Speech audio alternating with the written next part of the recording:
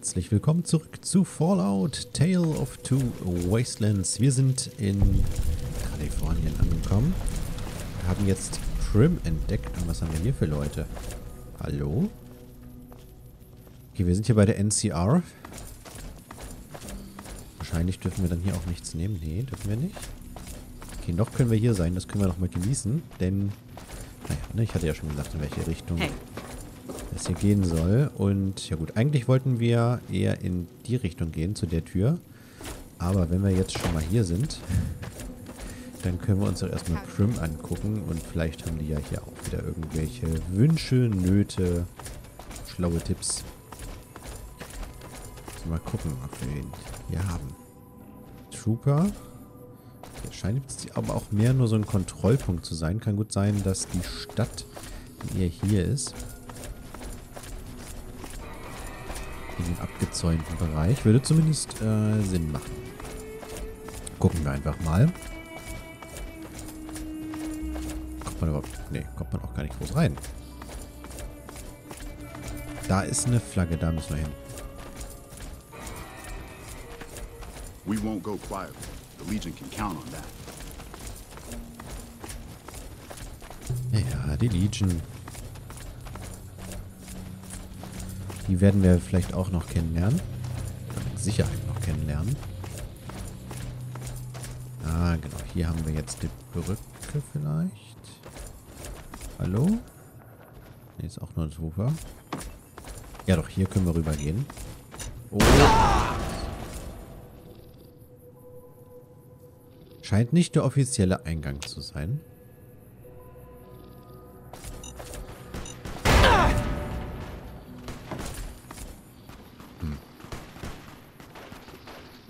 Oh, da hinten wird sogar geschossen. Was ist denn da los? Keine Lust. Also, äh, da scheinen wir jetzt... Was hat keine Lust? Also, da scheinen wir nicht rübergehen zu dürfen.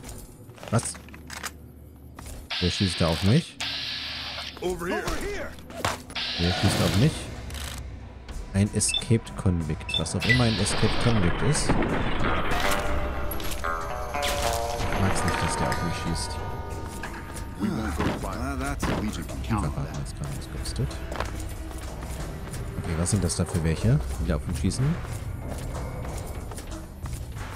Irgendwie ist da ja auch mal Schluss mit lustig. Okay, wir gehen dann doch hier einmal rum. Da ist ja auch die Holzachterbahn, die jetzt Prim gehört. Was soll das? Kann man die Kaktus hier eigentlich? Ja, kann man nicht ernten.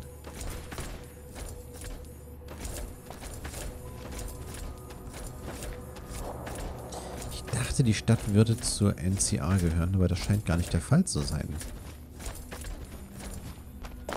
Ich weiß auch gerade gar nicht, wie man hier in diese Stadt reinkommen soll. Äh, okay, okay. Äh, wir lassen es einfach. Dann habe ich Prim wohl verwechselt mit irgendwas anderem. Nee, eigentlich nicht. Eigentlich, irgendwie kommt man dahin. Aber wenn das nur über diese Brücke geht, wäre das ja ziemlich doof. Ja gut, das könnte natürlich auch eine Möglichkeit sein, wie man da hinkommt. Weiß nicht, können wir das auch? Ha. So nicht.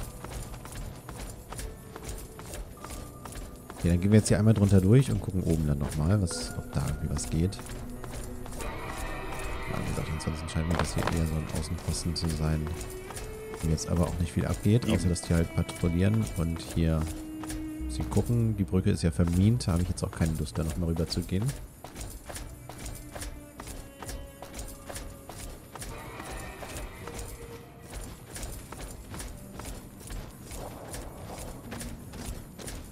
Jawohl, hier sieht es doch schon deutlich besser aus. So, ne, und dann will man eigentlich da hinten sowas machen und dann landet man doch wieder hier. Also ist das halt. Hier wird jetzt hoffentlich nichts vermint sein.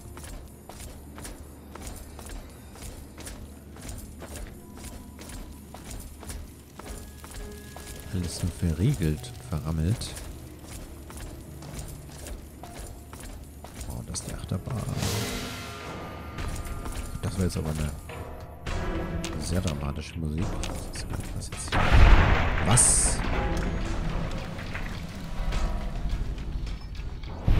So. Ich dachte gerade, wir wären jetzt tot. Aber wir haben ja was ganz anderes an. Da sind sie wieder, die Escape Convicts.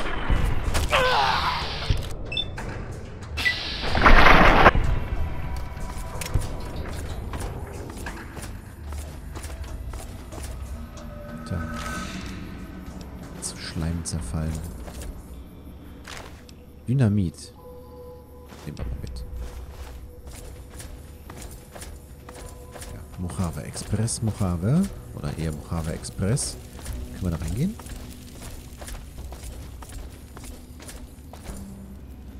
Oh, Mojave Express Delivery Order 4 von 6. Da gucken wir doch mal rein.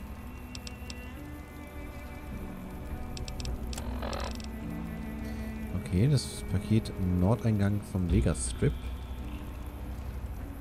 Okay. Uh, bring the... Ups. Bring the payment to Johnson Nash in Prim.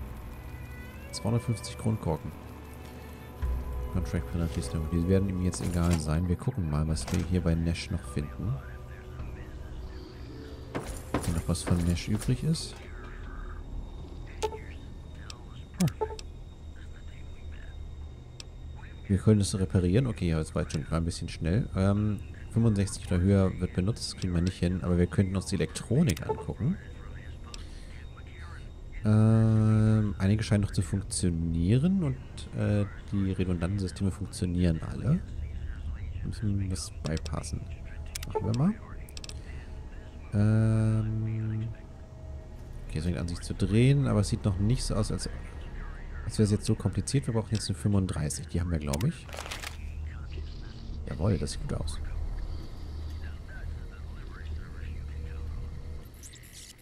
Ja, cool. Companion Protocol begin. Ja, Ed E haben wir jetzt dabei. Ja, cool. Jetzt zwei Begleiter? Ja, wir haben zwei Begleiter. Nice.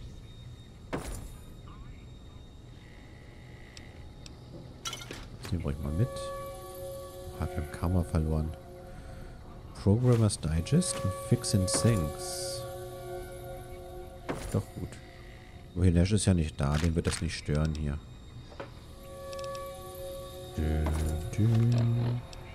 Hier wäre auch 6 von 6. Interessant. Und Good Springs Schoolhouse Safe. Okay. Äh, Items 8.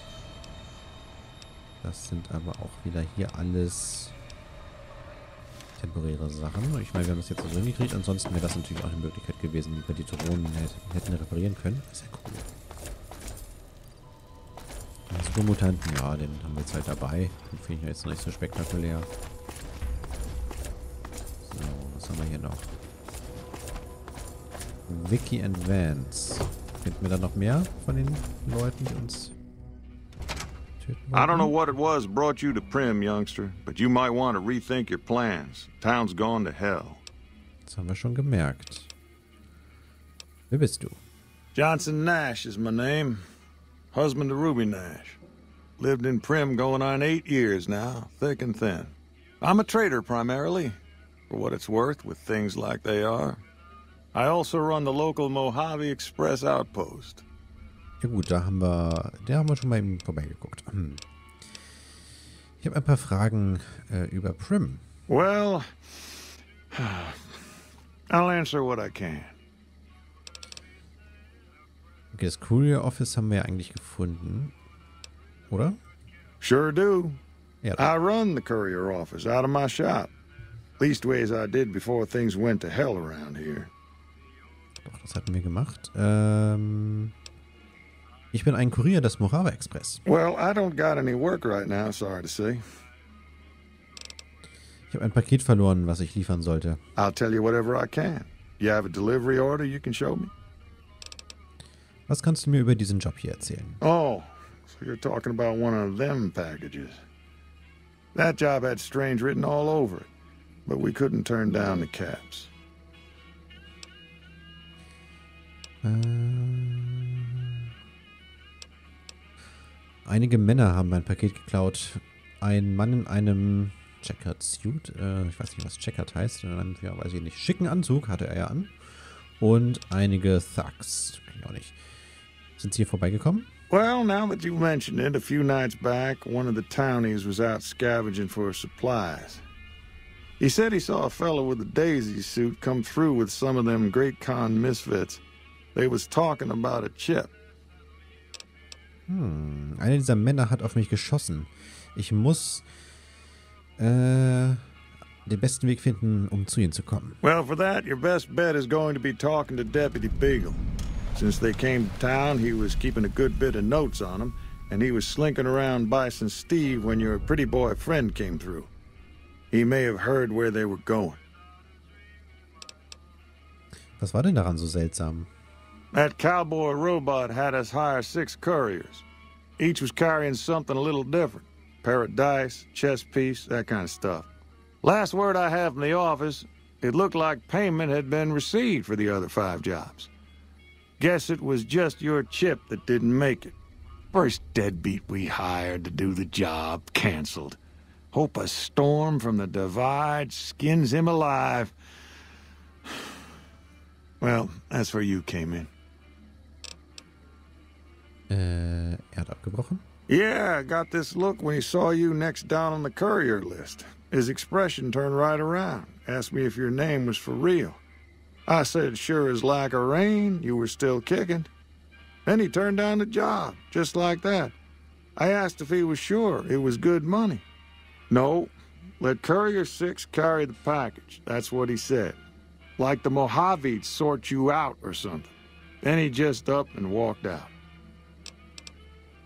Weißt du, wer er war? Wohin er gegangen ist? No idea. Sounds like you two had a history for him to act like that. And turn down the money, too. Hope he didn't see any trouble in that package of yours. Maybe he thought your name was bad luck. Enough for me to say. Cowboy-Roboter? Meinst du den da drüben? Nope. Different fella. Bigger. Had himself a face on a screen. And he talked more like you or me. Ich möchte gerne etwas anderes fragen. I guess I don't have anywhere better to be. Wo kann ich Informationen her von dem Mann bekommen, der auf mich geschossen hat? A Beagle had some notes he was taking while he was eavesdropping around the Potter gangsters. He'll be your best source of information on that subject.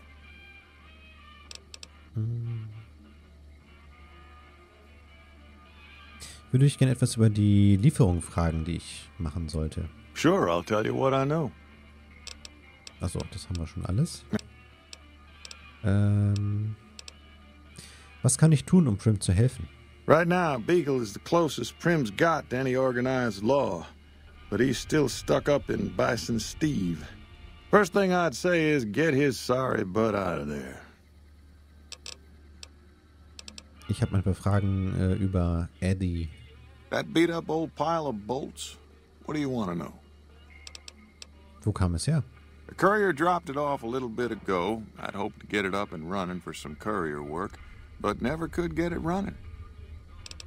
Irgendeine Idee, ähm, was ich damit tun soll? Not a bit. I imagine there must be some people around curious about that kind of technology.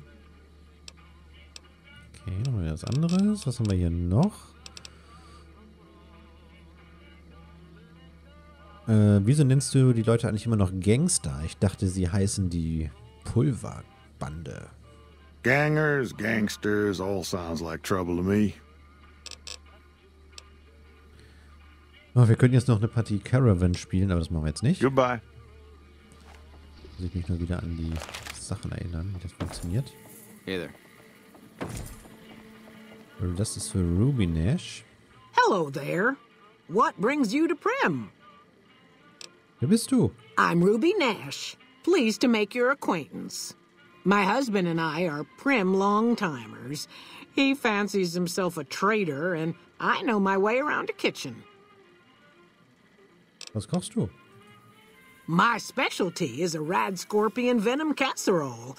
It's more appetizing than it sounds. The venom has a sharp, smoky flavor. And it numbs your mouth so fierce you'll forget you ever had a tongue. It's perfectly safe, long as you don't have sores in your mouth for the venom to find your blood. Cause that'll kill you dead. Äh, davon würde ich gerne mal was probieren. Does sound good, don't it? How many red scorpion glands you got? Keine. Guess you'll be needing to find some, huh? Come back when you do. Erzähl mir mehr über Prim. My mother taught me never to say something unless it was nice. So, I don't have nothing to say about Prim, for the time being at least. It's a sad state of affairs. Discuss it with Mr. Nash if you care to. Just makes me want to cry. Okay, tschüss. Yeah, bye. Okay. Noch ein Nash? Johnson Nash ist ja noch ein anderer. Along. Howdy, partner. Welcome to the Vicky and Vance Casino and Museum. Wir waren Vicky and Vance. Where have you been, partner? Hiding under a rock? Vicky and Vance were this nation's fourth or maybe fifth most infamous celebrity outlaw couple ever. That's who they was. Prim Slim here can tell you the whole story, if you can spare a minute to hear the tale. Erzähl mir die ganze Geschichte von Vicky und Vance. Yahoo! I ain't had a chance to tell their tale in a mess of years. First things first. Any boss you've heard about Vicky and Vance being copycats ain't nothing but ill-tempered slander. Fact is, they begun their crime spree two days before Bonnie and Clyde robbed their first bank. So who was copying who? Now, true, Vicky and Vance didn't exactly cut a wide swath of murder and bank robbery across the central U.S. like Bonnie and Clyde did. It was more like a narrow swath of shoplifting, check cashing fraud, and gas pump drive-offs. But crime is crime. They drove reckless, too. Having lived by the gun, well, Vance owned one anyway, it was only fitting that the duo of desperados would die by the gun. Perhaps it was fate itself that accidentally drove them into a crossfire between police and a gang of bank robbers in Plano, Texas. Or maybe they just didn't notice until it was too late. It's been said that Vicky would have tried to cash a bad check in that bank had she lived. We'll never know for sure. All we know is that the crossfire tore the car and both occupants to pieces, and the police issued an official apology. You can put your eyes on the genuine death car just over yonder, and there's Vance's machine gun in the case next to it. Ah, eine Vicky, eine Vance Gun. Okay, sehr gut. Ähm, und wer bist du? Prim Slim at your service. Authentic cowpoke and official spokespot of the Vicky and Vance Casino and Museum. Yeehaw! Ja. Oh ja, nochmal Vicky und Vance. Äh, was ist das hier für ein Ort? Why, this is the Vicky and Vance Casino and Museum. Prim's premier tourist attraction and resort destination. Yeehaw! Und erzähl mir mehr über Prim. Prim is a thriving resort community located in Clark County, Nevada, right along Interstate 15. Whether you can't wait till Vegas to try your luck or want to hit one last jackpot before you leave Nevada, Prim's your place. The town's premier attraction is the world famous Vicky and Vance Casino and Museum, so you came to the right place, partner. Ach, Nevada sind wir, okay. Ähm, was ist mit dem Bison Steve Hotel oder Hotel, äh, das hier an dieser Straße liegt? The Bison Steve is one of Prim's less impressive casino hotels. I'd steer clear of that place, partner, if I were you. Rumor is the dealers over there cheat, and that rickety roller coaster is liable to fall down any day because it wasn't built to code. Okay, tschüss. Happy trails, partner. Ja, Happy Trails. Mal ein Auto. Ah, hier, von Vicky und Vance natürlich. Klar. Müssen wir mal ein bisschen Licht machen, ganz schön duster hier. Bar einiges drin, aber jetzt nichts, was sich jetzt lohnt, hier einen Streit anzufangen.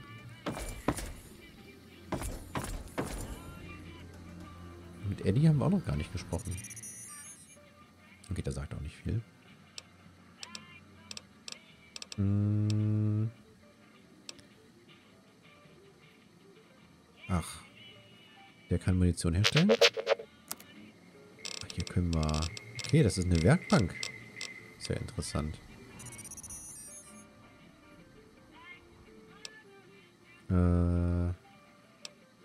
Okay. Rezepte. Ja, also hier können wir tatsächlich ein bisschen was machen. Interessant. Interessant. Okay, dann würde ich sagen, gucken wir uns hier etwas weiter um dann beim nächsten Mal. Vielen Dank fürs Zuschauen. Bis dahin.